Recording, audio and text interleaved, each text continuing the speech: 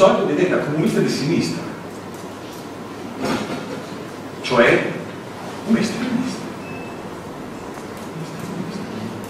Uno che crede che la soluzione, siccome ce l'hai nella testa, allora il più è fatto. Il più è fatto. Se l'hai capita l'hai già fatto. E non capisce l'attardarsi, se non come deviazionismo oppure riformismo. Facilissimo. È la stessa psicologia, la stessa fatica a cui si vuole, ci si vuole sottrarre con un colpo di genio. E, torno a dire, in gentile, quello che dice di gentile io ci sento proprio quello che Schmidt diceva dei romantici. Beh, facile superare i conflitti con una parola, eh? per finire con attaccati al campo per, ma per forza. Naturalmente la parola che usavano i romantici non era atto puro, ma era, diceva il concetto di terzo superiore. C'è sempre un terzo superiore rispetto ai due che confrontano, un'unità spirituale superiore. Attenzione, i romantici non hanno niente a che fare con i romantici italiani, un'altra razza c'è sempre un terzo superiore. Il mondo si sta scannando fra rivoluzionari e reazionari cattolici. No, non importa. C'è un terzo superiore, ce l'ho io in testa e questo risolve tutti i problemi. Ottimo modo per sottrarsi alle sfide vere, alla dialettica di mediazione di immediatezza e per finire attaccati al cadro dei potenti cioè per santificare ciò che esiste. Che è quello che fa Gentile, santificare l'esistente. C'è la guerra, eh, la guerra è l'atto spirituale supremo in cui la filosofia idealistica eh, schianta le filosofie positivistiche e liberali. Si guarda che la guerra fra la Germania e l'Inghilterra e la Francia. E ci è toccato pure essere alleati con quelli là quando è evidente che per salvezza giù lo Stato tedesco il partito filosofico italiano era un partito filo tedesco Croce che era e appunto un guicciardiniano dice io non ho mai partecipato alla canea antitedesca che è avvenuta durante la prima guerra mondiale.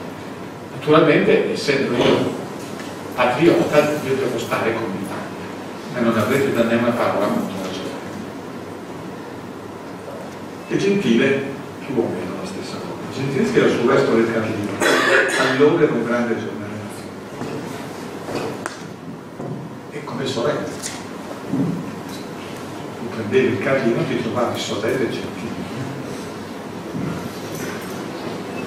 emanava dal Gini che voi non sapete è un allievo diretto di, di Carducci che quando ero bambino io scriveva ancora sul testo di Carducci diciamo fino a metà degli anni fino al 56-57 sul Carlino scriveva c'era una terza pagina c'era la terza pagina scriveva analogi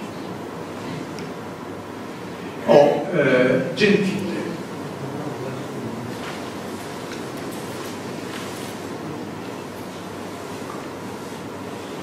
E dunque, e qui è, davvero caratteristico, quaderno 11, davvero caratteristico, c'era una parola adoperata in senso positivo e favorevole per sorella, che era spontaneità. La stessa parola, spontaneità, quando si parla di gentile, eh, è vista come qualcosa di negativo. Qui c'è la terribile critica comunista allo spontaneismo, che può essere lo spontaneismo di sinistra, con tutti quelli che ci potete attaccare, ma anche lo spontaneismo fascista, fascistoide, di Gentile, dove lo spontaneismo vuol dire appunto un pensiero che non si pone il problema della prassi perché afferma di essere già prassi. Allora, Gentile, tu non stai inverando la filosofia nella prassi, come si deve fare e come sappiamo fare solo noi marxisti. Tu stai semplicemente distruggendo la filosofia e la stai trasformando nella benedizione a tutto quello che succede. Ed eccoti appunto, eccoti appunto ridotto a scherano dei fascisti. Su Gentile sono abbastanza intransigenti i comunisti, che ripeto, di solito filosofi li amano e li rispettano. Come è noto, Gentile è stato ucciso deliberatamente da un, da un gruppo di comunisti dopo che la sua condanna a morte era stata annunciata su unità clandestine da Concetto Marchesi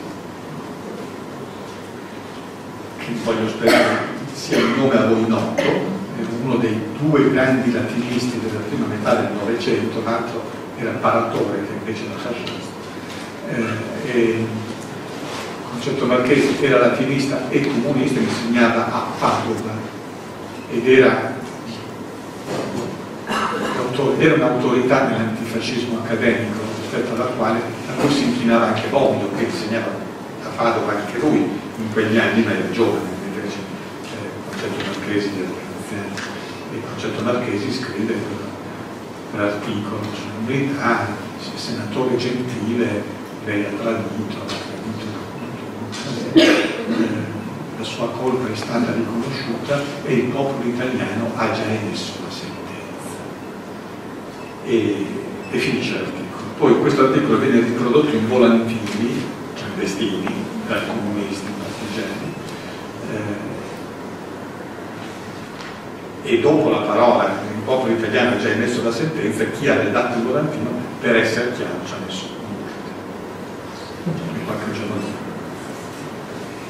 con, con Gentile e Togliatti dice hanno ammazzato il bestione filosofico. Perché per loro perché per loro per i nazisti italiani che erano disposti a prendersi tutti perché credevano di essere capaci di andare giù tutto di riciclare tutto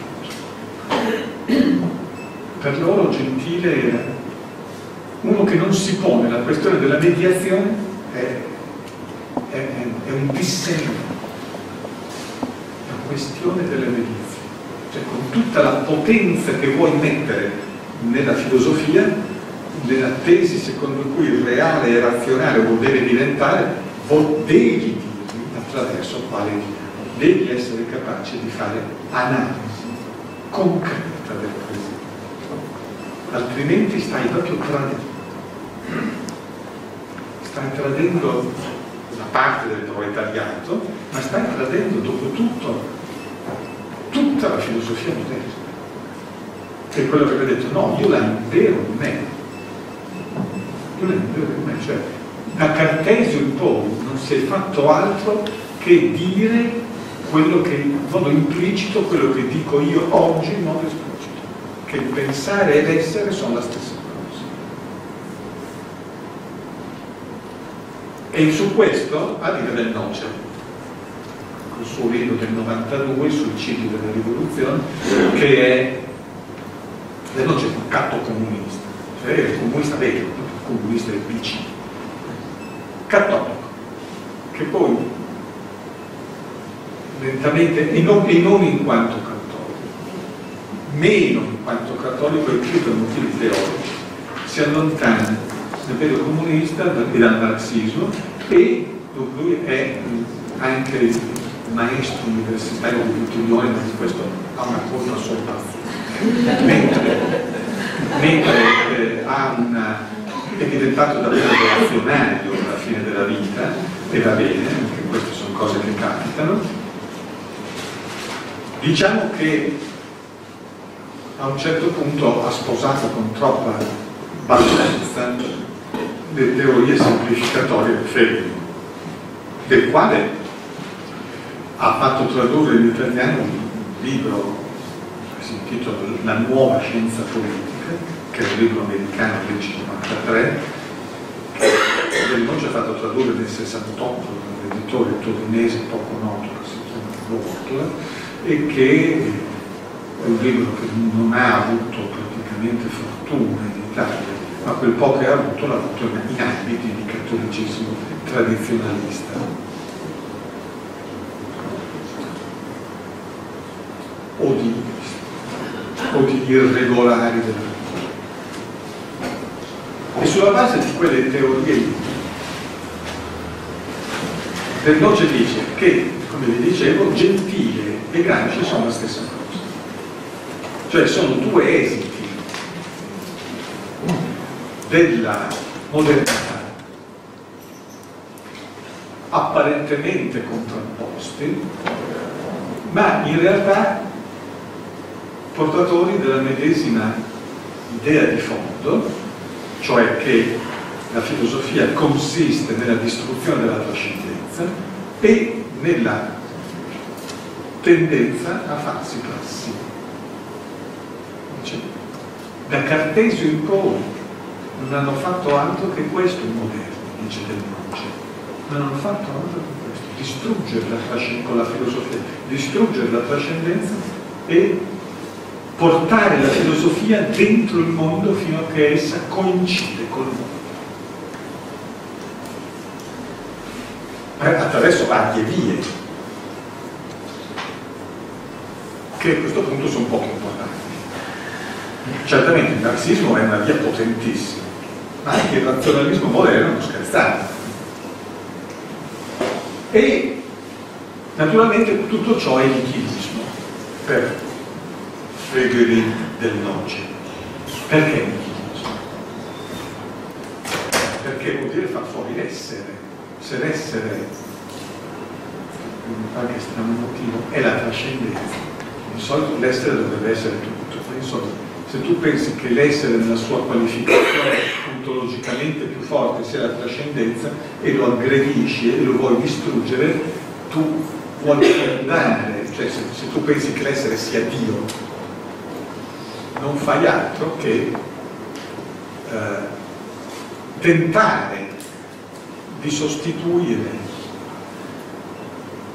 a Dio qualche cosa che tu puoi chiamare come vuoi, i valori, l'umanità, i diritti, la storia, il progresso, il comunismo, la tecnica, quel che ti fa. Ma quello che metti al posto di Dio sarà qualcosa di molto più debole e di conseguenza, come dire, attraversato da nulla, tutto bucherellato, instabile.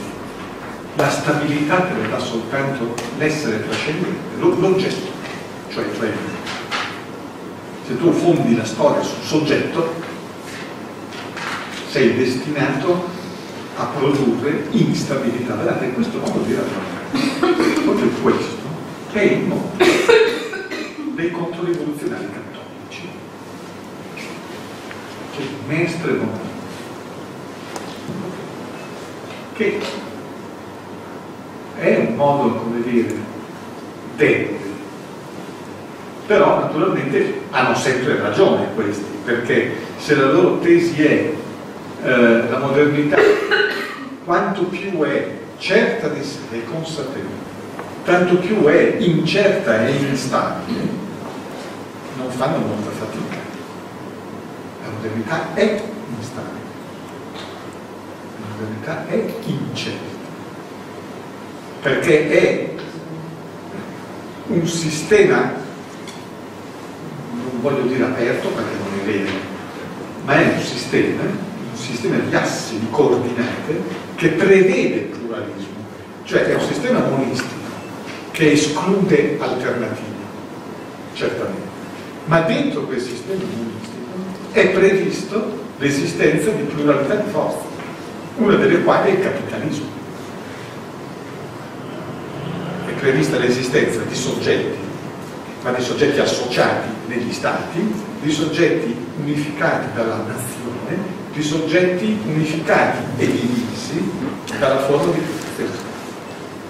è fatta apposta la modernità per ospitare questa ricchezza e questo insieme di contrastanti volontà di potenza, che se vogliamo possiamo semplificare dicendo è tutta volontà di potenza, che però per essere davvero volontà di potenza, per poter valorizzare tutte le potenze, deve aprire a tutte le forme di manifestazione di potenza concepibili, mentre l'anziano che non era per niente stabile, naturalmente è una costruzione ideologica dire che era stabile, facevano, facevano una, una, rivolta al minuto. Ecco. Era stato tutto percorso